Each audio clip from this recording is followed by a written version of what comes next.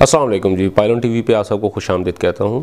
میرا آج کا وی لاگ جو ہے وہ جس موضوع پر ہے، وہ ہے لاہور کے اندر وکیلوں اور ڈاکٹرز کے درمیان میں ایک ایسا معاملہ جس کی وجہ سے بات جو تھی وہ گالم گلوچ سے ہوتی ہوئی، ہاتھا پائی تک پہنچی اور ہاتھا پائی سے ہوتی ہوئی وہ بات اب جو ہے وہ نقص امن و امان تک پہنچ چکی ہے۔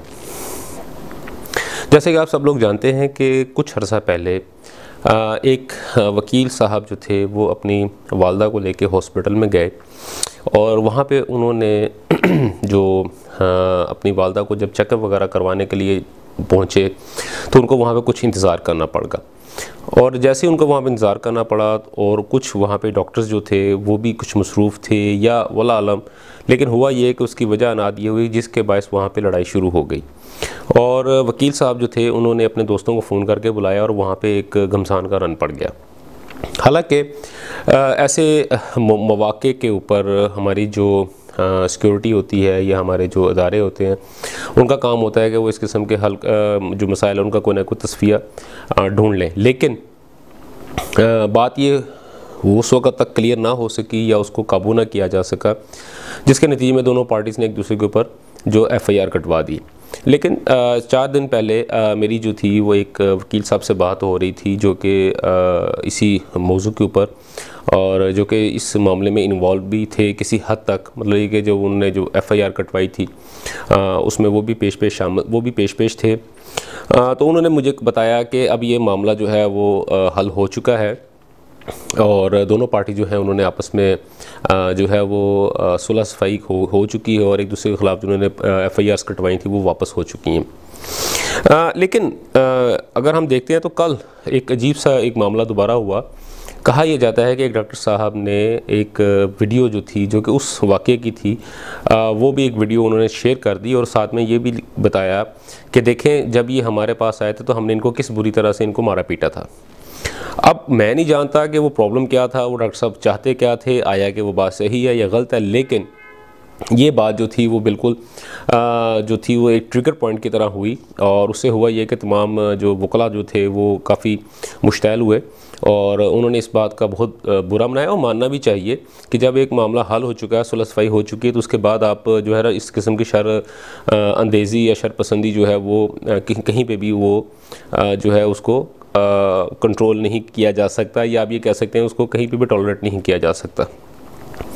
اور جس کا نتیجہ یہ نکلا کہ آج جو تھا وہ پورے پاکستان نے باشمول پوری دنیا نے دیکھا کہ کس طرح وکیلوں نے ایک ہاسپٹل کے اوپر حملہ کیا اور وہاں پہ جو کچھ بھی ہوا، اس کے مناظر جو تھے وہ ٹی وی فوٹیج آپ سب نے دیکھی ہیں۔ جیسا کہ آپ نے ٹی وی اسکرینز پہ دیکھا کہ جو مسئلہ ہوا اور وہ مسئلہ اتنا بڑھ گیا کہ وہاں پہ جو تھا ہوائی فائرنگ تک ہوئی اور لیکن سب سے بڑا جو میں یہ بات کہوں گا، اس میں جو اگر ہم دیکھتے ہیں تو دونوں پارٹیز جو ہیں، اس میں کوئی شک کی بات نہیں کہ دونوں پارٹیز جو تھی وہ گلٹی تھی اصولی طور پہ ہونا تو یہ چاہیے تھا کہ جیسے ہی یہ پہلی دفعہ مسئلہ ہوا تھا، اس وقت ہی دونوں پارٹیز کے کوئی نہ کوئی بندوں کو اندر کیا جاتا۔ اور تاکہ ان کو تھوڑا سا شرم ہوتی تو کچھ اور، یا ان کو یہ دکھایا جاتا کہ مسئلے کو کا حل ایسے نہیں ہوتا جس طریقے سے آپ کرنے کی کوشش کر رہے۔ لیکن آج کا جو واقعہ ہوا، اس میں جہاں پہ یہ دونوں پارٹی جو تھیں وہ قصوروار ہیں، وہاں پہ سب سے زیادہ قصوروار جو ہے وہ ہماری پنجاب کو حکومت ہے۔ اگر دیکھا جائے تو اس کے اندر اگر کسی پارٹی کو گلٹی قرار دیا جا سکتا ہے یا اس کے اوپر کوئی حد قائم کی جا سکتی ہے، تو وہ صرف صرف پنجاب حکومت ہی ہے۔ کیونکہ یہ وکلا جو تھے، یہ سیشن کورٹ سے اکٹھے ہوئے وہاں پہ انہوں نے سب سے پہلے جو کال جو تھی اکٹھے ہونے کی، وہ سیشن کورٹ میں تھی۔ اور سیشن کورٹ سے لے کے ہاسپٹل تک کا جو فاصلہ ہے، وہ تقریباً چھ کلومیٹر تک کا ہے۔ اور اس کے اندر چھ کلومیٹر کے دوران میں کیا ہم جب یہ وہاں سے نکل رہے تھے، اکٹھے ہو رہے تھے، تو وہ ایک سیکنڈ میں تو وہاں سے نہیں پہنچ سکے۔ یہ ڈاکٹر کی موت ہے۔ یہ سمندر دیکھو ڈاکٹر۔ سمندر دیکھو ڈاکٹر۔ کیونکہ پورے چھ کلومیٹر کے دوران میں ان کو نہ روکا گیا اور نہ ان کو کہیں سے ان کو ڈائیورٹ کیا گیا راستے کو۔ اور پولیس جو تھی وہ اس قابل ہی نہیں تھی کہ وہ کسی نہ کسی طرح سے ان کو روک سکے۔ ہماری جو پنجاب گورنمنٹ ہے عثمان بزدار صاحب، وہ تو ہمارے وسیم اکرم ہیں، وہ بھی میرا خیال ہے کہ شاید اس بات کا انتظار کر رہے ہوں، کیونکہ بقول ان کے کہ ابھی وہ سیکھنے کے عمل سے گزر رہے ہیں۔ تو ابھی تو صرف پندرہ ماہ ہی ہوئے ہیں حکومت میں ان کو آئے ہوئے کو۔ ہو سکتا ہے کہ وہ بھی انتظار کر رہے ہوں کہ گیند تھوڑی سی پرانی ہو جائے۔ جیسے وسیم اکرم جو تھے، ہمارے لیجنڈ بالر جو تھے، وہ جیسے ہی بال تھوڑی پرانی ہوتی تھی تو وہ جو تھا وہ سوئنگ بال کرنا شروع کر دے تو رویس ریورس سوئنگ جو تھی، ان کی بہت خطرناک ہوتی تھی۔ اس سے وہ بولڈ بھی کرتے تھے اور لیگ بھی فور بھی لوگوں کو بہت زیادہ کرتے تھے۔ شاید کہ ہمارے عثمان بزدار صاحب ہیں، وہ انتظار کر رہے ہوں کہ تھوڑا سا عرصہ اور گزار لیں۔ تین، ساڑھے تین سال جب ہو جائیں گے اور آخری ڈیڑھ سال یا سال جو ہوگا یا چھ مہینے آخری جو ہوں گے، اس میں گیند پرانا ہو چکا ہوگا، ان کے پاس آئے گا اور جب بولنگ کروائیں گے تو شاید وہ عمران خان صاحب کا جو خواب ہے یا ان کے جو الفاظ ہیں ان کو پورا کر سکیں۔ لیکن آج کا جو معاملہ ہوا، آج کا جو مسئلہ ہوا، وہ ہم اس کو، اس میں کس کو قصوروار ٹھہرائیں؟ وکلا کو، جو ہمارے بھائی ہیں، ڈاکٹرز کو، جو ہمارے بھائی ہیں، یا ایک ایسی حکومت کو، یا ایک ایسے حکومت کے سربراہ کو، پنجاب حکومت کی میں بات کر رہا ہوں کہ جس کو بولنا تک نہ آتا ہو۔ بہت بہت سارے لوگ جو ہیں وہ یہ بھی کہتے ہیں کہ جیسے پچھلی جو گورنمنٹ تھی، اس میں جو صدر مملکت تھے، وہ ممنون حسین صاحب تھے، جو کہ بولا نہیں کرتے تھے۔ اس دفعہ شاید جو تھا عمران حکومت نے ممنون حسین صاحب کی یاد کو تازہ کیا ہے یا ان کی جو تھی ایک نشانی، نشانیوں کے طور پہ انہوں نے عثمان بزار صاحب کو ملک کا سب سے بڑا صوبہ اور سب سے سٹرونگ صوبہ جو ہے ان کو دے دیا تاکہ وہ چپ کر کے بیٹھ رہے اور صوبہ جو ہے وہ اپنی مرضی سے ہی چل رہا ہے۔ کہنا تو نہیں چاہیے لیکن وہ کہتے ہیں کہ نہ انجن کی خوبی نہ کمال ڈرائیور چلی جا رہی ہے خدا کے سہارے۔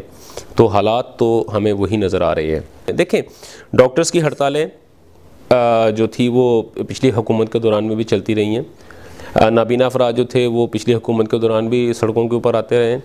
انجینئرز وہ پچھلی حکومتوں کے دوران بھی، کسان وہ پچھلی حکومتوں کے دوران بھی۔ لیکن پرابلم یہ ہو رہا ہے کہ اس دفعہ جیسے ہی یہ حکومت آئی ہے، یہ ہر قسم کے معاملات کو ہینڈل کرنے میں ناکام کیوں ہو رہی ہے؟ کیا کبھی ہم نے اس بارے میں سوچا ہے؟ میرا خیال ہے ہمیں سوچنے کی ضرورت بھی نہیں ہے، کیونکہ اگر ہم سوچیں گے یا ہم کو بات کریں گے تو ہو سکتا ہے کہ ہمارے اوپر جو ہے وہ کچھ نہ کچھ فتوے لگنے شروع ہو جائیں کہ ہم کسی اسپیسیفک پارٹی کے پوائنٹ آف ویو سے بات کر رہے ہیں اور ہم جو ہے عمران حکومت کے خلاف بات کر رہے ہیں۔ تو حضرات میرا کہنے کا مقصد یہ ہے کہ اگر ان سارے معاملات کو اگر ہم نے دیکھنا ہے، آج کا جو معاملہ ہوا اس پہ نو ڈاؤٹ بہت زیادہ تکلیف دہ بات ہے، لیکن اس سے زیادہ تکلیف دہ بات ہے وہ یہ ہے کہ فیض الحسن چوہان صاحب کو کے ساتھ جو ہوا وہ نہیں ہونا چاہیے تھا۔ فیض الحسن چوہان صاحب ہیں یا شیخ رشید صاحب ہیں یا ایسے جو افراد ہیں جو کہ اپنی بس زبانی کے باعث کافی زیادہ نٹوریس ہیں۔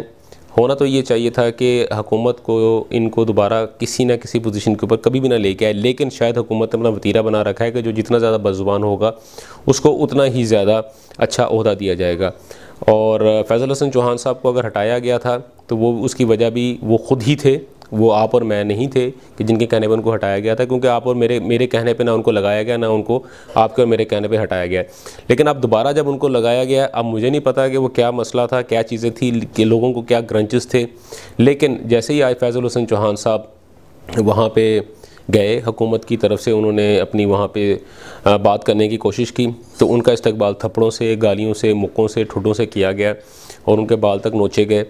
اور ان کو دھکے دیے گئے، جو کہ بہت ہی بڑی ایک ایک الارمنگ سچویشن ہے۔ کیونکہ کہنا تو نہیں چاہیے، لیکن جب ہم آگ لگاتے ہیں، اپنے ہاتھ سیکتے ہیں تو لامحالہ وہ آگ ہمارے گھر تک بھی پہنچ جاتی ہے۔ اللہ حافظ۔